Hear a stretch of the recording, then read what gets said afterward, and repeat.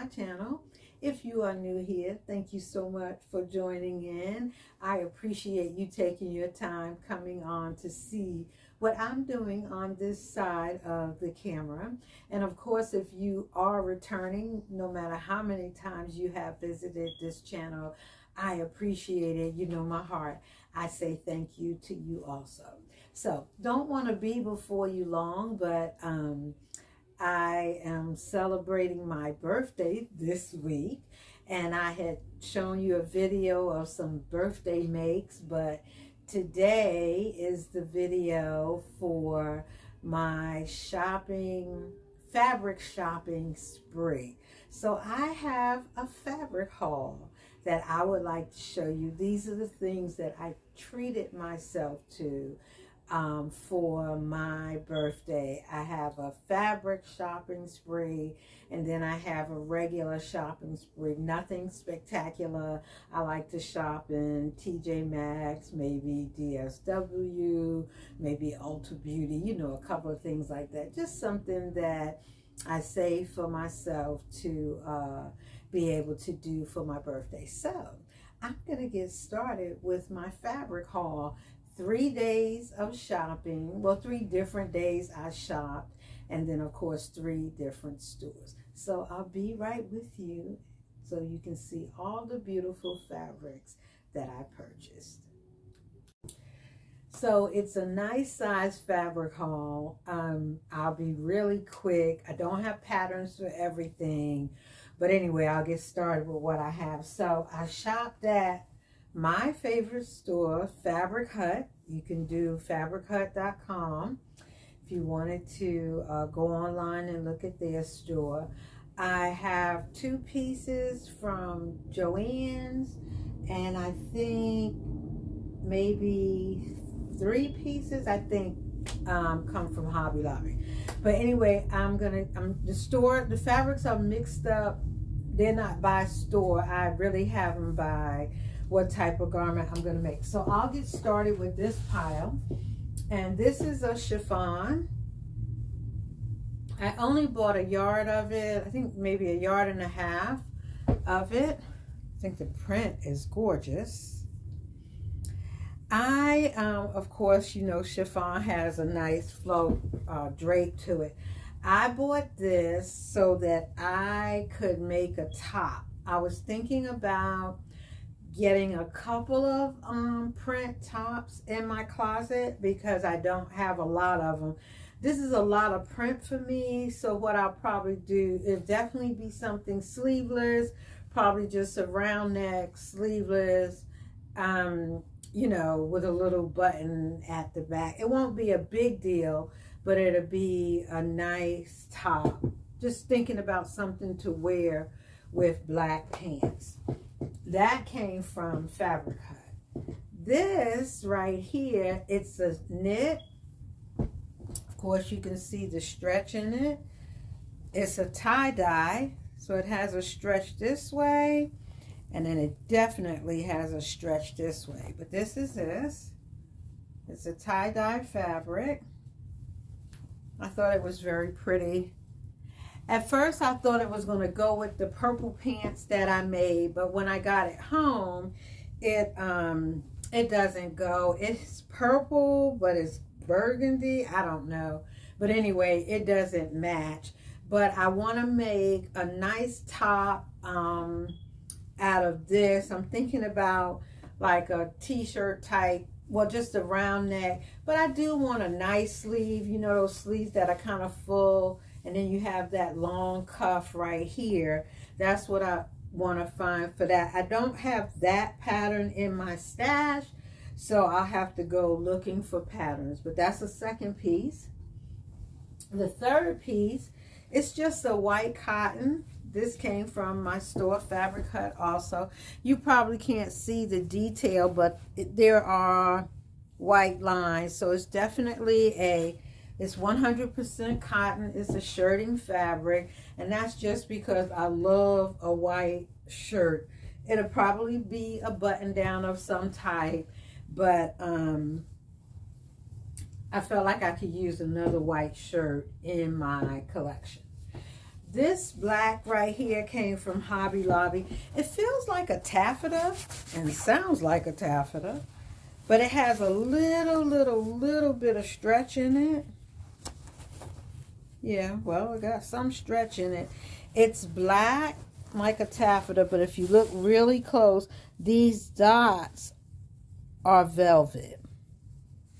So I thought this would make a nice black shirt for the holiday. Again, I don't know. I have an idea of the pattern that I'll use, something that I made before. But just a nice black piece. It's not shiny, so it won't be restricted to um, holiday. But that's what I was thinking about. A nice blouse, um, short blouse, big puffy sleeve, because this fabric is definitely going to the sleeve will puff, but a nice puffy sleeve. And then you put on a nice skirt. This would really be nice. So that's just that. Then I got um, a couple of pieces for some sweaters because I love a good um, tank top and a sweater. When I go out or if I'm dressed for church, it's a sleeveless dress and a cardigan or a jacket, or it's a nice pencil skirt with a nice tank top, maybe sleeveless top, and a cardigan or a jacket. That's pretty much my common um, way that I dress. I know you see a lot of other things that I make, but I share my clothing or I give some clothing away sometime. And plus, I just like making the fabric, um, making the pattern. The first piece I got is this red. It's just a Ponte knit. Of course, it has some stretch the long way, and then it has some stretch crosswise. Now, this red, I don't know. Maybe it's a little bright for me. I'm not sure. Red is not a color that I wear. I used to. I don't know what made me stop but I used to. But this red, um, it's nice. It's, you know, you've seen Ponte knits before, so it's nice. Showing up kind of orangey red on the camera, but it's red. This will be a cardigan. So this one's for a cardigan. This purple, this is another knit, but this purple, it's almost like a bluish purple. This purple has a stretch this is really nice. It was in the section with the wools, but it is knit. Has a nice drape. If you look close, you can see the glitter. It's like that eyelash type fabric. This is much nicer than the other one I have and stuff. So it'd be nice. But this is for a cardigan also. Now, it would make a gorgeous dress. But I have, I don't, I'm not going anywhere. So it's purple. It's like a midnight purple because it's purple, but I can kind of see a blue hue in it. But that's for a cardigan. So the red one's a cardigan. That one's a cardigan. This one is another one. Now this is kind of fancy. It's kind of like a Ponte knit. Has some stretch. Mostly going crosswise. But it's navy blue. And if you look, you see that chevron pattern where it has some gold and some gray in it.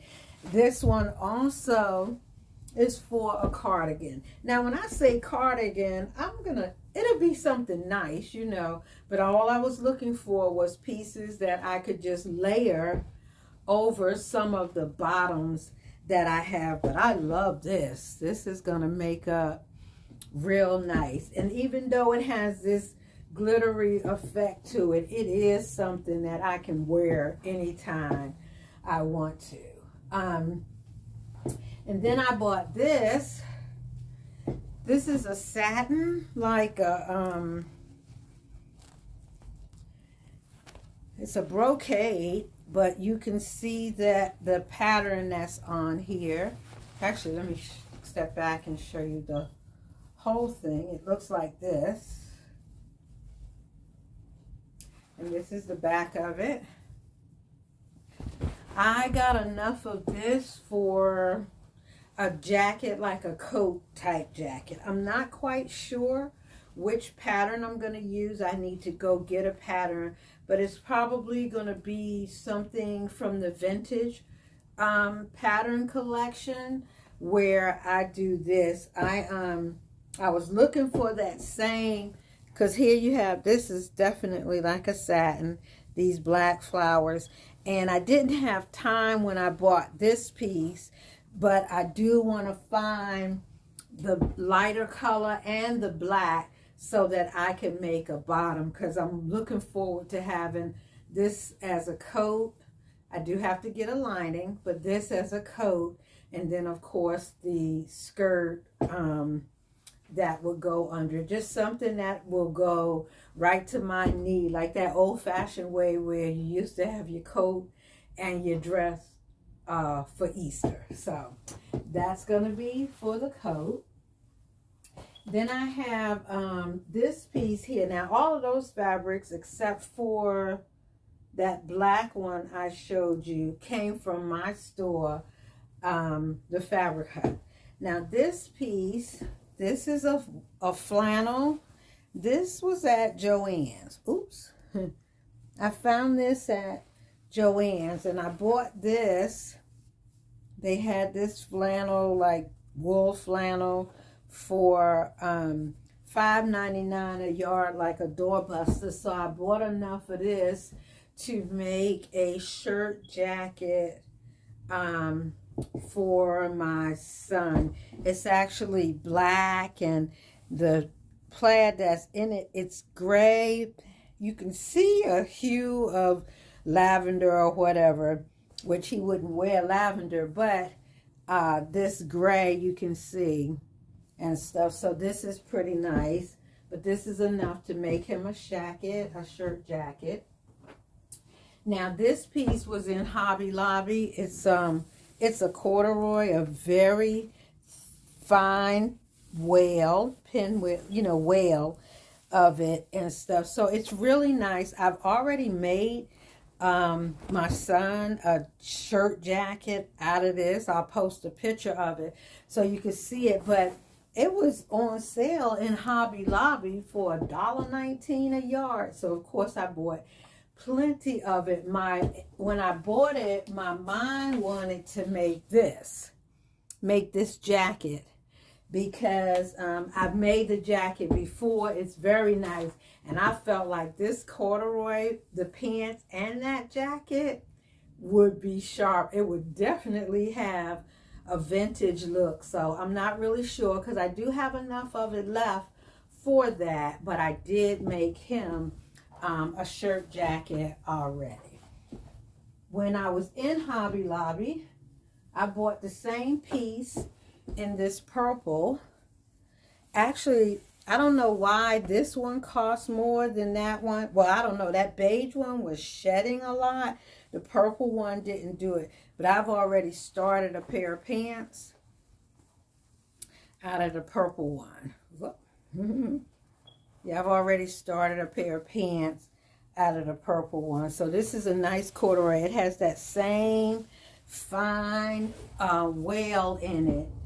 The weight's a teeny bit different than the beige one is, but this was only a small piece, so I only had enough to make a pair of pants. They're not finished, but I had enough to do that.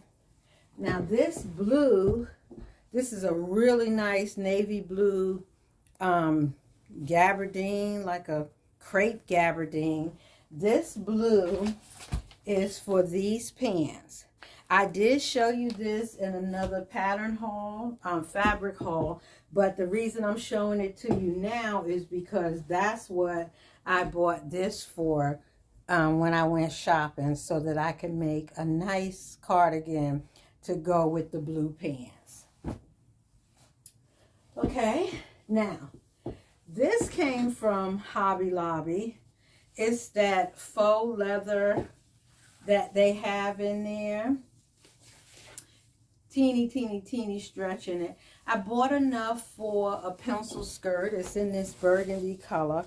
I bought enough for a pencil skirt. I'm not sure when I will make it, But what made me buy it is because about a month ago or more, I bought the this color um, in that and I started making this skirt. It's been on my mannequin for a long time. I'm going to finally finish it. I felt like it needed to be lined, so I hadn't bought any lining. So when I saw the burgundy on sale at Hobby Lobby, you know, I think it was $2 or something like that, I went on and bought a piece because somewhere down the road, I'll, I'll make another pencil skirt if I can ever finish the brown one. Just a few more. Then I bought out of Joann's, they had this knit houndstooth. It's nice. It has a little stretch, just very little, very little.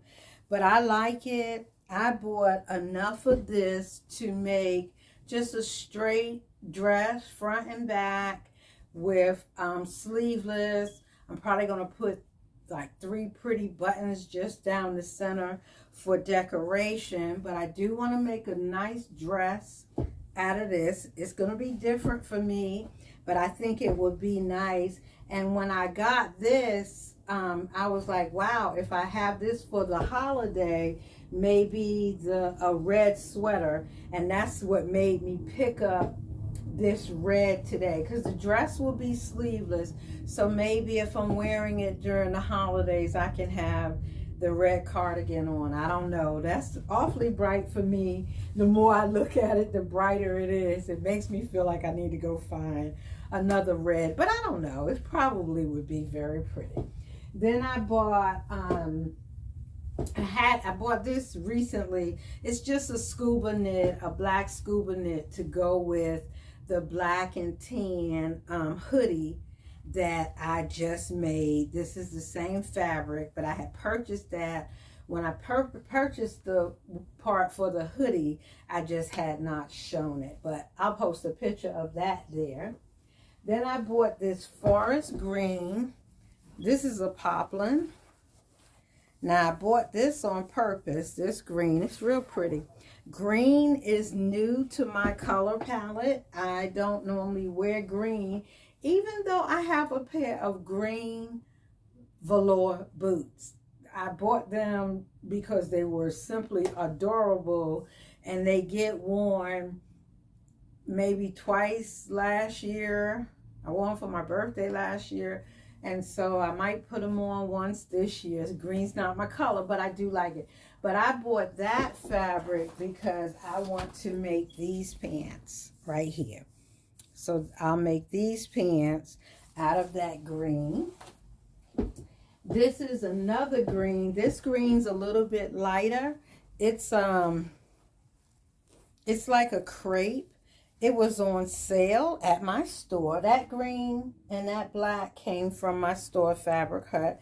And this green is like a crepe but it was on sale for a good price. So I bought three yards of this. I have no idea what I will make out of it because I doubt if I have want anything else green in my wardrobe. When I got it, when I first bought it, I was like, oh, maybe a jumpsuit, you know, something I don't have to be buying fabric for a top that I might not really want.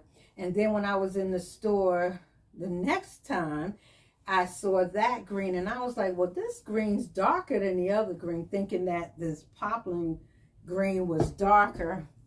And it is just a little bit, but by a hair. So this one probably will just go in the stash until it I can think of something that I can do with it. This one, I know I'm going to be making the pants um, very soon. And then the final piece is this black premium cotton sateen. I've shown this um, fabric. I made pants and a vest out of this before, but I love it. It's just a black, has a little teeny sheen to it. Bought plenty of it. And I bought this one so that I could make myself a pair of cargo pants. I have not had a pair. I don't know what that's going to look like for me. but I bought enough of it to do that. So as you can see, I am going to be quite busy. I'm not sure what I'm going to start on first. I know that that green where I have the three yards will go get put away. That burgundy faux leather will get put away. Um, I don't know, maybe probably that black. I don't know which one I'll sew. But those two I know definitely will not be in, in any hurry. Now I just, I already gone through my patterns. I see nice patterns to use for everything that I have here, but I haven't made a final decision. I also bought some thread um, from my store. This is green, the forest green, and this is the Glide. I haven't tried this yet, but um, this is the Glide, so I'm going to try that when I sew the green. My machine doesn't like any kind of thread. I normally use Gutermann um, or Coats and Clark, but I bought this to try. This is Glide thread, and I also, they had bundles of um, the Mettler thread. I haven't tried, had not. I did the other day, tried that either but they had made up bundles of 15 for $12, $12.95. So I chose a bundle. You had to choose whatever colors. So I chose a bundle and I actually sewed um, the, the, the beige corduroy, my son's shirt coat, shirt jacket, with using that thread and it, it was a nice, it was a nice sew. So not any different from my Gutermann thread for real. So we'll see how that works out. I'll use that thread. I may end up using the glide sometimes. We will see. But that is it for the pattern haul. I mean, the fabric haul. I will go out this week and get patterns um, for these things, but I won't display them. I mean, do a video about them. They'll just be ready when I get ready to make the things. So this is day one shopping for my birthday. So one of my shopping treats was the fabric store and these are the fabrics that I bought. I'm so used to buying five and six yards of each piece because I like to sew in collections.